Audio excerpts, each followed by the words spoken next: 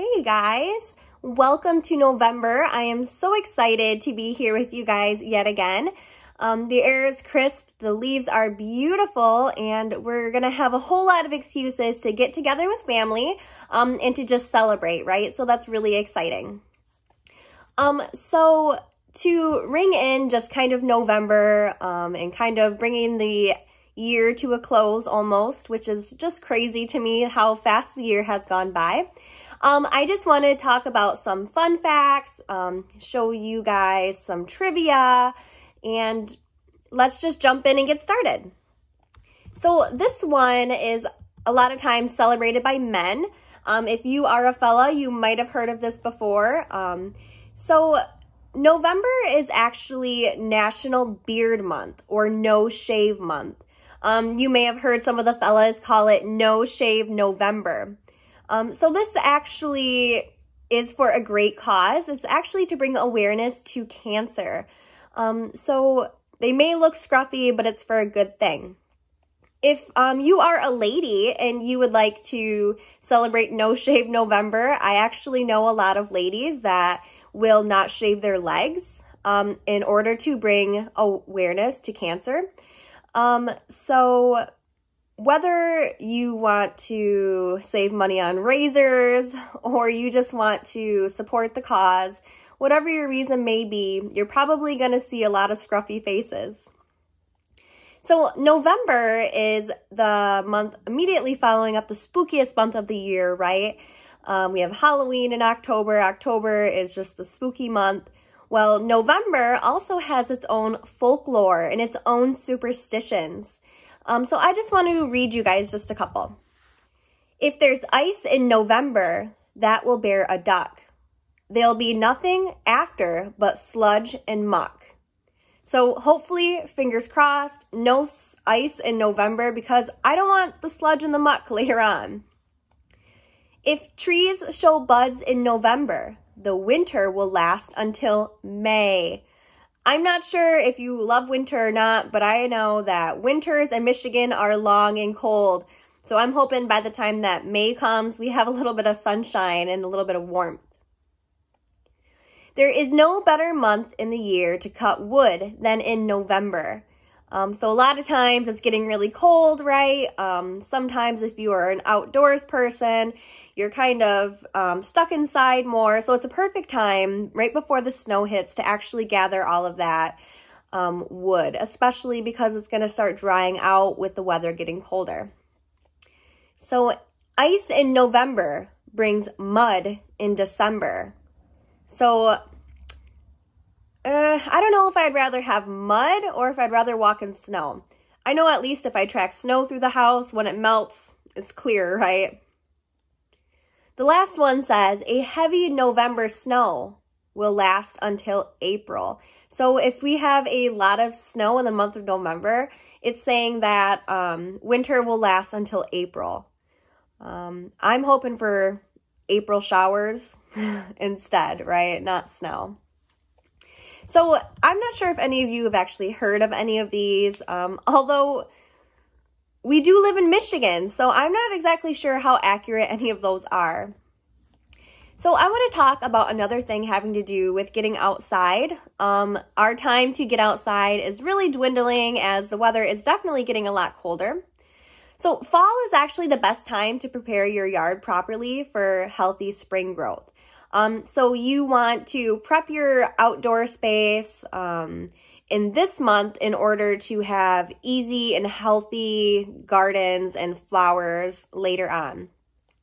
Um, so if you actually rake up all your leaves, for one, this is a lot easier because um, than leaving them there because if you wait until the winter's over, they're going to be very cold and wet. There's going to be a lot more bugs underneath.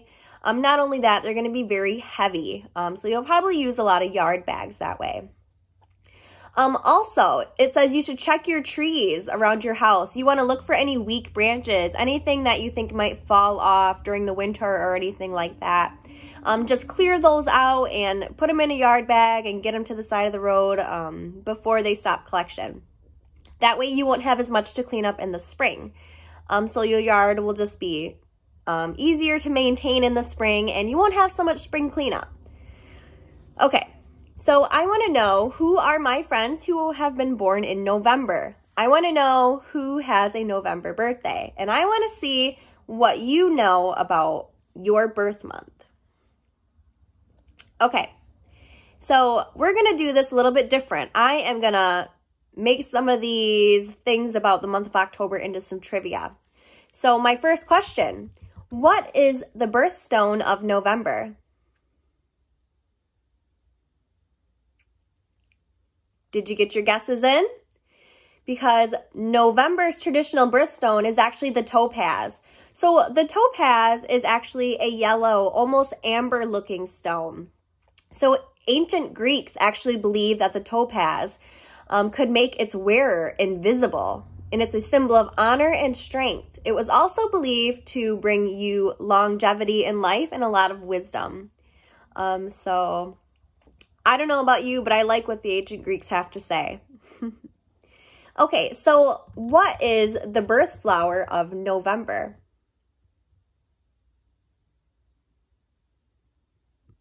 Are you ready for the answer? The birth flower is the chrysanthemum. So they actually represent cheerfulness. Um, a red one can convey I love you, while white symbolizes truth and pure love. A yellow one can indicate slighted love. So next question, what is your zodiac if you have a birthday in this month? So again, I hope you guys have been paying attention to other videos because this one is always a tricky question. So you would be a Scorpio if your birthday landed anywhere from October 23rd to November 22nd. If your birthday is from the 22nd on, you would be a Sagittarius. So which one are you, Scorpio or Sagittarius? Okay. So in November, there's typically a full moon. Um, so traditionally, what is November's full moon called?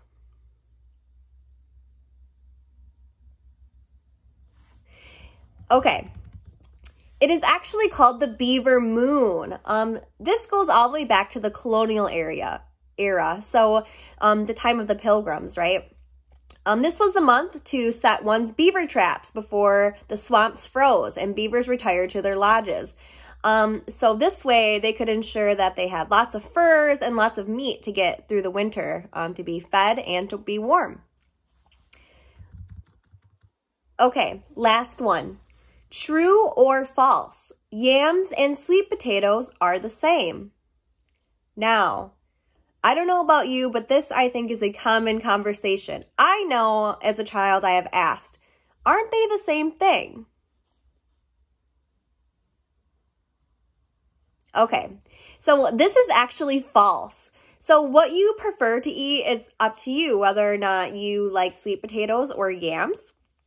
Um, but there is a difference. The yam is actually a big root. Um, whereas the sweet potato is very closely related to the morning glory flower. Um, I think I told you this another time in a video that the potato is very close to the um, morning glory flower. They're actually in the same um, family. So in the U.S. today, it's possible to find true yams um, if you go to some urban markets. However, most yams in the U.S. are actually sweet potatoes. Um, so Yams have a moist texture and they have an orange colored flesh, whereas sweet potatoes um, are more starchy and drier, um, but they are typically sweeter. So whichever one that you prefer.